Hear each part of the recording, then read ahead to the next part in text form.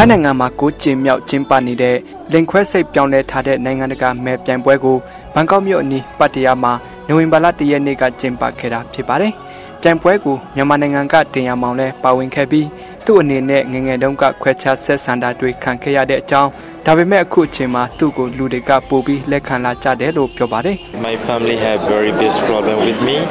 and also I have to find everyday difficult. မိသားစုဝင်တွေကဒီလိုလုပ်ဖို့လက်မခံကြပါဘူး သူတို့တွေနဲ့ပြဿနာတွေတက်ခဲ့ရပါတယ်ဒီလိုအခွင့်အရေးတွေရအောင်အခက်အခဲတွေအကြားထဲကနေတော်တော်ကြီးကိုစ조사ခဲ့ရပါတယ်ဒီလိုဘဝမျိုးမှာနေထိုင်ရတာအရင်ပဲအခက်ခဲပါတယ်ဒါပေမဲ့အခုတော့လူတွေကလက်ခံလာနေကြပါပြီပတ်ဝန်းကျင်တွေကလည်းသူ့အပေါ်မှာဂုဏ်ယူစွာနဲ့လက်ခံလာနေကြပြီလို့လည်းသူကပြောပါတယ်နိုင်ငံတကာအမဲပြိုင်ပွဲကိုအမေရိကန်ဂျပန်ဘရာဇီးနဲ့တောင်ကိုရီးယားစတဲ့နိုင်ငံပေါင်း16နိုင်ငံကလိန်ခွဲစိတ်ပြောင်းလဲထားတဲ့သူပေါင်း25ယောက်ပါဝင်ရှင်ပြိုင်ခဲ့ပါတယ်။ ဒီပြိုင်ပွဲမှာဝင်ရောက်ရှင်ပြိုင်တဲ့သူတွေရဲ့အလတ်ကိုစစ်ဆေးယုံတာမဟုတ်ပဲသူတို့ရဲ့တူချင်းစီဉာဏ်ပညာထက်မြက်မှုတွေကိုလည်းစစ်ဆေးမှုတွေပြုတ်လုပ်တယ်လို့တိုင်လူကြီးကပြောပါတယ်